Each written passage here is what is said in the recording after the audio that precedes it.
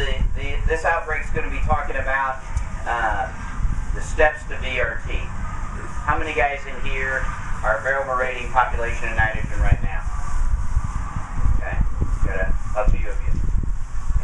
And it's one of those things that um, it's more complicated than it looks, isn't it?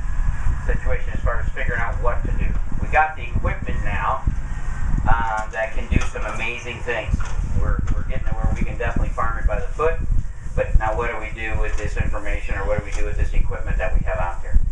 And um, that's that's kind of what I'm hopefully going to touch on here as we talk about two main things: variable rate population and variable rate nitrogen. Um, and we have to assume some things, and you know what that does uh, out there when we start thinking about things. But we have to assume some of the fundamentals are in place. Some of the basics are in place that you've already taken care of those things in your operation, and now you're moving on to the next step.